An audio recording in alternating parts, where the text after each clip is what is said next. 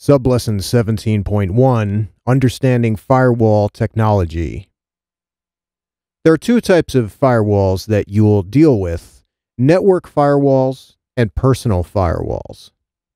The network firewall is a device that protects an entire local area network from intrusion.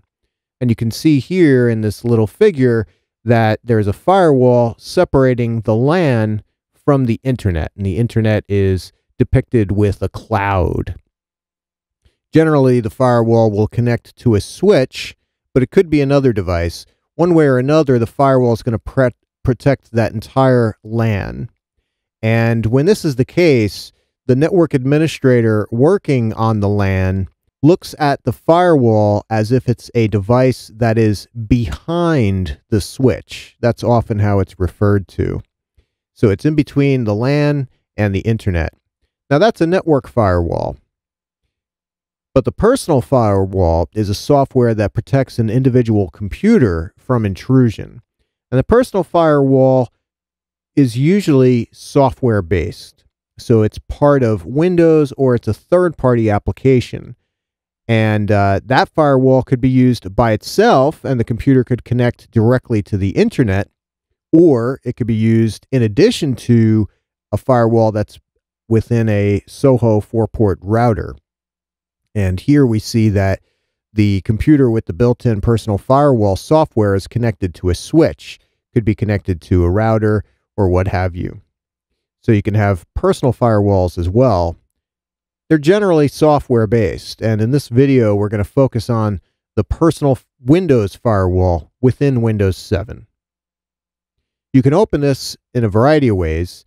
Uh, you can go to the search field, or you could navigate to the control panel and then go to Windows Firewall. And if you're in category mode, you'd also click on System and Security.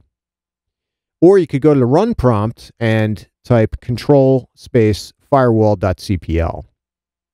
Let's demonstrate how to open the Windows Firewall and how to turn it on and off now. And we'll do this in the GUI and in the command prompt. Okay, so we're at the control panel in a Windows 7 computer. And from here, we would click on System Security, and that would lead us to the option for the Windows Firewall. Or if you're in the control panel in icons mode, you would just go directly to Windows Firewall. And that would give you your various private and public firewall options. You could also open this from the run prompt again with that syntax control space firewall.cpl.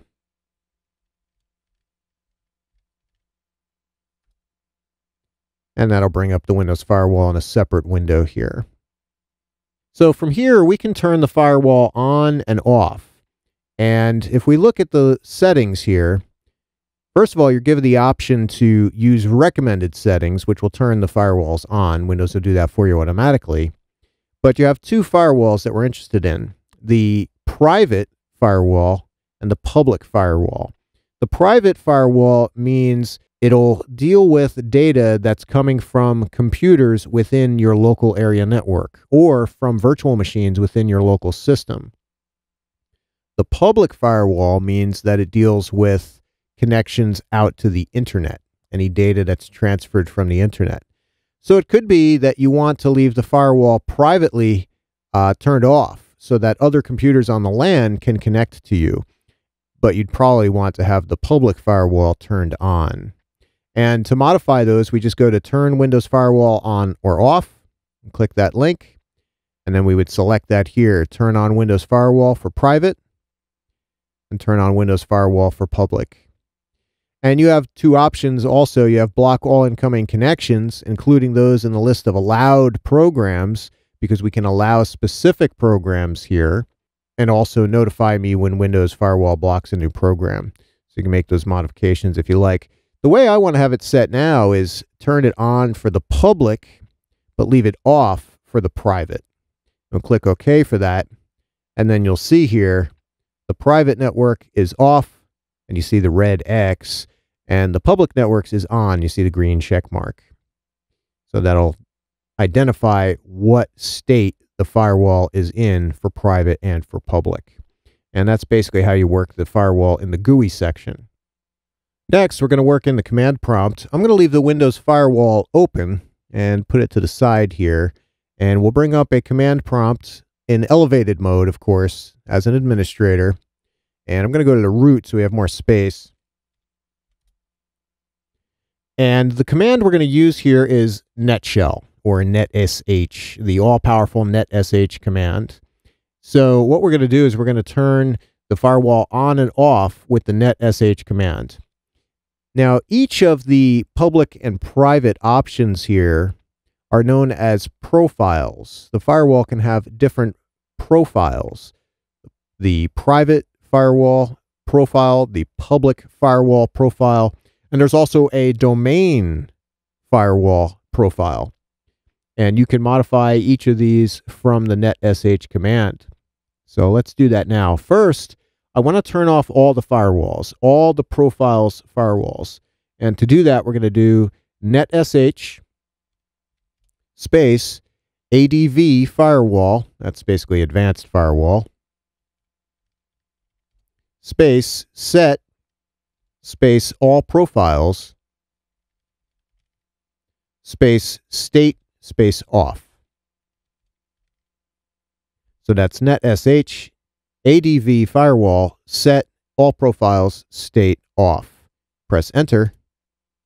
And it says, okay. That's the only response you get. And I like that. I like simple responses. Notice that the public profile in the GUI portion here, in the Windows Firewall GUI uh, portion of Windows, it turned to a red X because it was turned off. So it actually updated that in real time when we did the commands.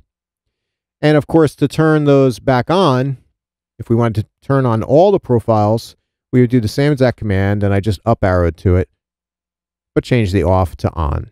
Press enter. OK. And you can see both were automatically turned on here in the GUI. And of course, your next question may be, well, I want to do one at a time. I just want to have maybe the private turned off and the public turned on. Well, they're both on right now. So if I want to turn off the private profile, I'll up arrow again and I'll backspace out the all profiles and change that to private state off. So netsh ADV firewall set private state off. Enter.